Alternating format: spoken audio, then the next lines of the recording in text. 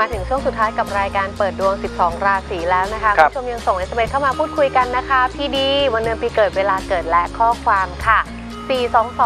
4221606 นะคะ ไม่รอช้าเราไปตอบ SMS กันต่อเลยค่ะ เกิดวันที่ 25 ธันวาคม ปี 06 นะคะ วันพุธ เวลา 21นาฬิกา38 นาที ครอบครัว ความรักอาชีพ บุตรดีไหมคะ แล้วก็การเงินค่ะ ก็เป็นคนวันพุธกลางคืนนะ จริงๆก็บอกว่าเราจะไม่ทายทารกชั่วดีทาริกา คือหมายถึงว่าทายอะไรให้บุปการีไม่สบายใจ พระบุตรหลานเป็นดังแก้วตาดวงใจนะแต่ของคุณเนี่ยบุตรโอเค อันนี้ไม่ได้ทายแบบเกรงใจนะครับ ส่วนในเรื่องของอาชีพที่เด่นที่สุดในพื้นชะตาก็ดาวศุกร์ครับ อยู่เรือนงานด้วยของกินสิ่งสวยงามงานเย็บปักถักร้อย สภาพคล่องปีจรนี้เป็นอย่างไร แต่เงินเป็นห่วงนะ โดยเฉพาะอืมในช่วงเข้า ย่าง 53 และย่าง 54 ปีนี้ไปเอ่อบริจาคเรื่องทุนการศึกษา ส่วนหลังวันเกิดเน้นการแบ่งปันให้ทานคนชราครับ ค่ะ ท่านต่อไปค่ะ คุณวีระพรนะคะ เกิดวันที่ 18 มีนาคม ปี 31 วันศุกร์นะคะ เวลา 9 นาฬิกา 30 นาทีด้วงด้วยร่วมหลังวันเกิดค่ะเอ่อสุขสันต์วันเกิดย้อนหลังจ้ะนะคะเตือนเรื่องแรกเลย เรื่องงาน เน้นผู้ใหญ่นะให้ระวังมีปัญหากับผู้ใหญ่ และดาวการเงินปีนี้ก็เสียอืมนะครับ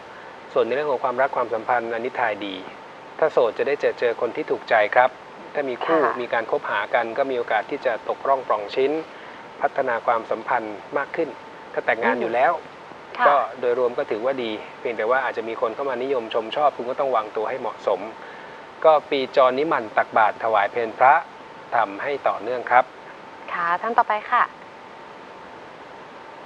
คุณกฎชพรนะคะ เกิดวันที่ 29 พฤษภาคม ปี 21 เวลา 16 นาฬิกา 30 นาทีวันจันทร์นะคะ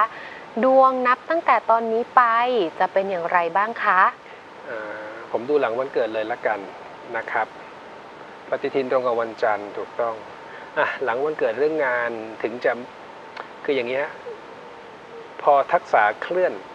ทุกอย่างก็จะเปลี่ยนแปลง ช่วงปีที่ผ่านมาเนี่ยทั้งงานทั้งเงินไม่ค่อยดี มีปัญหาพอสมควร หลังวันเกิดถึงจะไม่ได้หมดสิ้นไป แต่ผมยืนยันว่ามันคลี่คลายในทางที่ดีขึ้น แต่สิ่งสำคัญก็อาจจะเดือดร้อนในเรื่องของที่อยู่อาศัยหรือหรือนะให้ระวังปัญหาในเรื่องของพวกอุบัติเหตุเพศภัยมของคุณเนี่ยหลังวันเกิดเนี่ยให้ชีวิตสัตว์ทุกเดือนเลยครับค่ะเดือนละ 8 ตัว ค่ะท่านต่อไปค่ะ คุณวิชุดาค่ะ เกิดวันศุกร์ที่ 24 มกราคม ขออภัยค่ะ 24 กรกฎาคมนะคะอาจารย์ ปี 35 นะ เวลา 15 นาฬิกา ถามเรื่องการเงินแล้วก็การงานไม่ค่อยดีเลยค่ะ ปฏิทินตรงกับวันศุกร์ถูกต้องเวลาบ่ายสามกาลีมันสัมพันธ์ถึงเรื่อนงานอยู่ครับ แล้วก็หลังวันเกิดไปแล้วเนี่ยเข้าเต็มเข้าตรงด้วยนะ ก็เกณฑ์งานปีเศษเนี่ยให้อดทน จะหาสิ่งใหม่รองรับไม่ว่ากัน อาจจะเปลี่ยนไม่ว่ากัน แต่ขอให้มีสิ่งใหม่รองรับ เพราะว่าหลังวันเกิดเนี่ยกรรมะเป็นการลีโอกาสโยกย้ายเปลี่ยนแปลงสูง เกณฑ์งานใหม่ก็ขึ้น แล้วถ้าถามว่าเปลี่ยนดีกว่าไม่เปลี่ยนหรือไม่ ถ้าเปลี่ยนก็เป็นการแก้ดวง หรือแม้กระทั่งเป็นการโรเตทภายในก็ใช่ ของคุณเนี่ยตอนนี้อ่าเป็นอีกอีกหนึ่งท่านที่อยากจะฝากให้ระวังอุบัติเหตุนะครับ ปีจรนี้ไปบริจาคโลหิตซะ ถ้าไม่ได้ก็ไปทำฟันขูดหินปูนส่วนหลังวันเกิด ให้ซื้อพวกชุดเครื่องเขียนอุปกรณ์การเรียนถวายพระสงฆ์ค่ะท่านต่อไปค่ะ คุณนัทนะคะ เกิดวันที่ 13 กันยายนปี 36 นะคะ เวลา 17นาฬิกา37 นาทีวันจันทร์ เรียนสายวิทย์นะคะ จบแล้วจะได้งานทำเลยไหมคะ ตอนนี้ย่าง 23อ่าแต่วงกลมก็ตกในส่วนของงานเหมือนกันนะ ก็อ่า ผมฝากทำบุญแป๊บหนึ่งนะครับออกกาลีมันแปะอยู่นะ อาจจะได้ช้าหน่อยนะ อาจจะได้ช้าหน่อย แต่วงกลมอืมมันตกก็คือต้องได้ค่ะอ่าฝากทำบุญเสริมหนึ่งเลยหางานเลย ไม่ต้องรอของผมที่สมัยก่อนตอนเรียนมหาวิทยาลัยจำได้ หางานตั้งแต่เกรดยังไม่ออกโอ้นะครับแล้วก็ไม่รู้จะรีบนะคะคือไม่รู้จะรีบไปทำไมตอนนั้นถ้าย้อนเวลากลับไปได้ก็คงจะพักสักช่วงหนึ่งนะ แต่ถ้าค่ะคุณจำเป็นต้องทำ ก็นั่นแหละตามนี้หางานเลยแล้วก็การทำบุญเสริมเนี่ยให้ซื้อพวกอุปกรณ์ทำความสะอาดถวายวัดจ้ะนะคะอ้าวมาถึงอีเมลนะคะ ที่ฝากเข้ามาในวันนี้จากคุณเจษดา เกิดวันจันทร์ที่ 1 กุมภาพันธ์ ปี 36 นะคะ เวลา 22 นาฬิกาตรงคำถามนะคะ การงานความรักส่วนงานเนี่ยจะคัดเลือกทหารได้เป็นไหมไม่อยากเป็นครับอะ ปีนี้ความรักทายดีนะ เหมือนกับถ้ายังโสดก็จะมีคนช่วยลุ้นนะอืมนะถ้ายังโสดก็เหมือนกับจะมีคนช่วยลุ้นนะครับ ย่าง24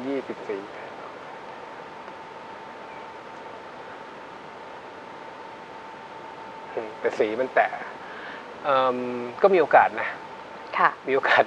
มีโอกาสได้รับใช้ชาติ โอ้ นะนะคคะรับก็อ่าลองดูนะ ถ้าอะ ผมฝากทำบุญเสริมนะแล้วกันนะในสิ่งที่คิดหวังให้มันพึงปรารถนาแล้วกันเอาตามนั้นค่ะนะครับ แต่อย่างที่ผมเรียนนะถ้าได้รับใช้ชาติขอให้ภาคภูมิใจ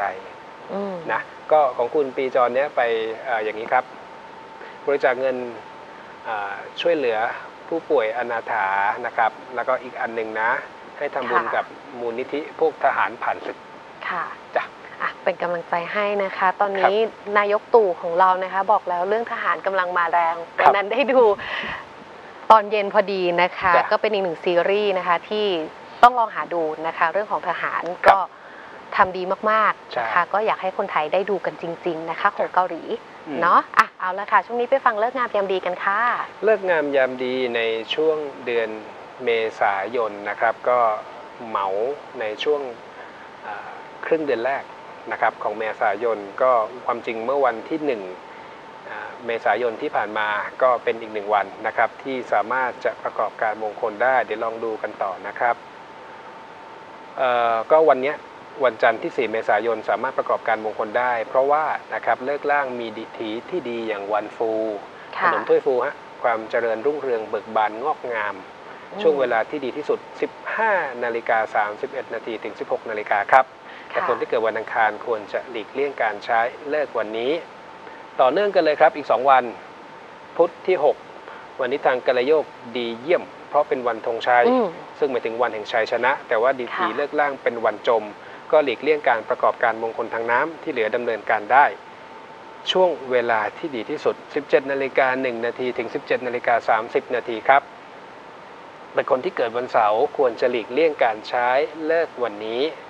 ต่อกันด้วยเสาร์ที่ 9 เมษายน วันนี้สามารถประกอบการมงคลได้เช่นเดียวกันค่ะเลิกล่างมีดีทีที่กลางๆ อย่างวันปลอดคือปลอดทั้งดีและไม่ดี แต่ว่าอัคคานิโรธตกในน้ำก็อืมเลี่ยงอ่าสำหรับผู้ประกอบการมงคลนะครับ ทางน้ำขอให้เลี่ยงที่เหลือดำเนินการได้ช่วงเวลาที่ดีที่สุด7นาฬิกา31 นาทีถึง 8 นาฬิกาครับ แต่คนที่เกิดวันพฤหัสบดีควรจะหลีกเลี่ยงการใช้เลิกวันนี้จ้ะ ค่ะอันนี้หลัครึ่งจากครึ่งเดือนแรก หลังจากนั้นไปก็ปีใหม่ไทยใช่นะคะก็ใกล้ถึงแล้วนะคะหลายคนเตรียมตัวหยุดยาวก็ลองดูหน่อยนะคะ เรื่องการเดินทางอะเนาะก็ต้องมีการจับจองกันล่วงหน้านิดนึงสำหรับคนที่ต้องเดินทางกลับบ้านต่างจ้ะจังหวัด นะคะก็แล้วเดินทางก็เตรียมความพร้อมทั้งในแง่ของการหาสถานที่พักผ่อนแล้วก็ในเรื่องของความปลอดภัยด้วยนะใช่แล้วสำคัญะเพราะว่าทุกปีก็มีการรณรงค์กันอย่างต่อเนื่องครับ แล้วก็อย่างที่อาจารย์บอกนะคะ ช่วงนี้เป็นเลิกษ์ดีอย่างวันพรุ่งนี้เราจะมีจ้ะพิธีไหว้ครูนะใช่คะครับที่สตูดิโอมิลาเคิลของเรากันตนาบางใหญ่นะคะ ก็เชิญชวนลูกศิษย์ลูกหาที่เคยมาไหว้ครู หรือว่าครับใครที่ยังไม่เคยเลยนะคะใช่มาร่วมพิธีกับเราได้นะคะจ้ะอะเอาละค่ะ ก็เวลาหมดแล้วนะคะ วันนี้ ก็ต้องลากันไปก่อนนะคะ พรุ่งนี้พบกันใหม่เวลาเดิมนะคะ จันทร์ถึงศุกร์8โมงครึ่งถึง 10 โมงแพรครัและบอาจารย์พรพจน์ลากันไปด้วยข้อคิดคติธรรมค่ะสำหรับวันนี้นะครับอุยาวเหยียด ตราบใดที่ทะเลยังมีคลื่น ถนน ยังไม่ราบเรียบ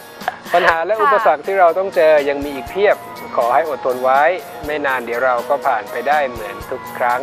ขอบพระคุณทุกท่านที่ติดตาม วันนี้เราสองคนลาไปก่อน สวัสดีครับ สวัสดีค่ะครูบาอาจารย์มีจริง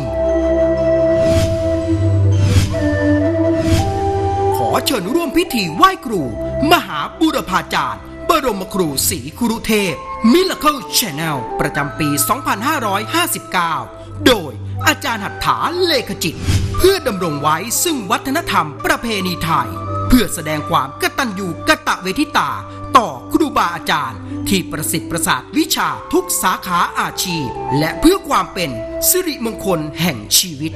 วันอังคารที่ 5 และวันพุธที่ 6 เมษายนนี้ ที่ Miracle Studio กันตนาบางใหญ่จังหวัดนนทบุรี สอบถามรายละเอียดเพิ่มเติมโทร 08 5 129 3697